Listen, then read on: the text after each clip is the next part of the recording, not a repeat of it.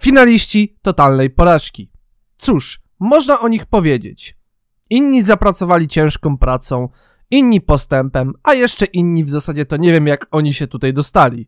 W dzisiejszej audycji przyjrzymy się finalistom totalnej porażki. Oraz poznacie ogólnie moje zdanie, czy dany finalista zasłużyłby być na miejscu, gdzie obecnie jest. Tak więc zaczynamy. Sezon pierwszy, czyli Wyspa Totalnej Porażki. Finaliści Owen i Gwen.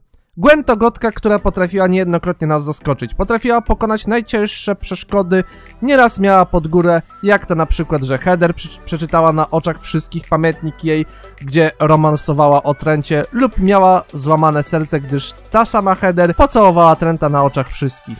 Koniec końców Gwen jest wytrwałą dziewczyną i pomimo szkód, jakie były wyrządzane, to dała radę i mogę z ręką na sercu powiedzieć, że na te miejsce zasłużyła sobie.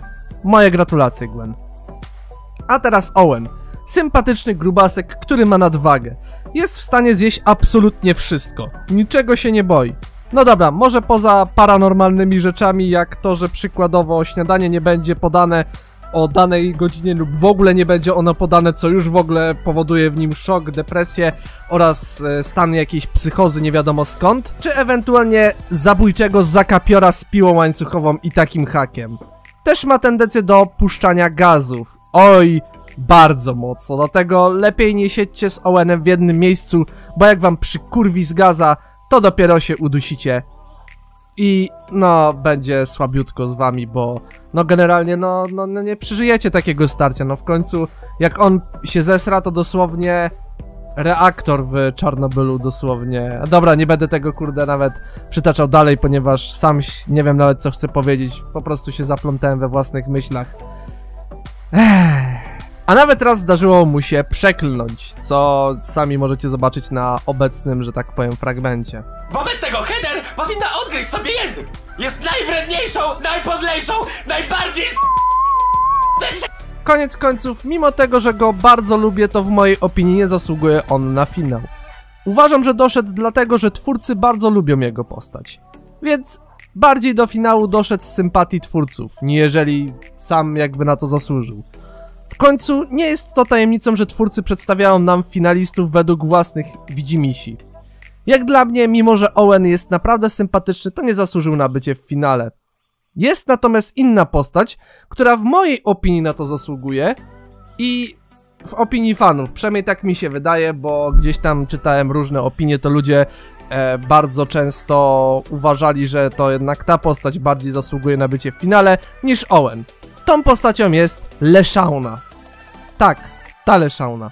Uważam, że Leszauna mogłaby zasiąść do finale pierwszego sezonu, gdyż na przykład w wyzwaniu schowanym najlepiej wykiwała ze wszystkich szefa, który miał dosłownie wszystkich zmoczyć wodą. W odcinku 15, gdzie było wyzwanie kto pierwszy spęka, tam Leszauna pokonała niedźwiedzia, który miał ją z kłody zrzucić do wody w pełnej piranii.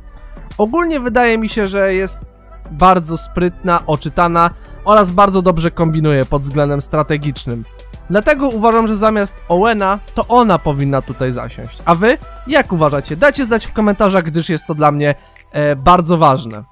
Ogólnie uważam, że wywalenie Leszauny oryginalnie było jakimś planem twórców, bo zobaczcie, w drugim sezonie Leszauna miała pod górę, gdyż no wyszło, że chciała odpocząć od swoich kolegów z drużyny i było widać, że lekko cisnęła pompę z nich, że oni muszą się użerać z Chrisem, a Tase może odpoczywać.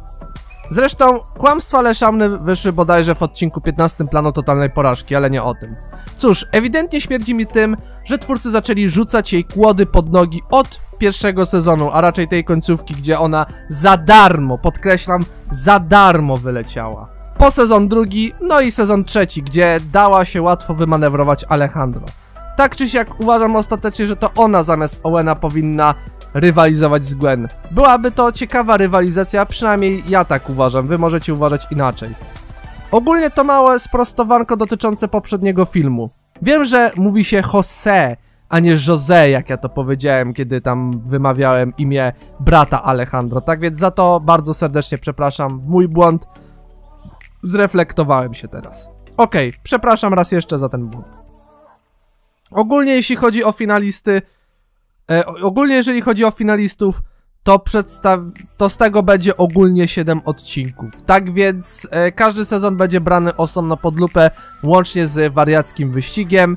Więc będziecie mieli miniserię kolejną zaraz po moich eliminacjach, tak więc mam nadzieję, że wam się oczywiście to będzie podobać, gdyż no jest to coś nowego, co miało być już jakiś czas temu zre zrealizowane, a jednak nie zostało to zrealizowane. Tak więc bardzo dziękuję wam za oglądanie, mam nadzieję, że wam się spodobało i do następnych materiałów. Będę się starał oczywiście wam prawie, że cały czas coś tutaj nadawać, a kto wie, być może za jakiś czas pojawi się pierwszy livestream na tym oto kanale ale to cierpliwości.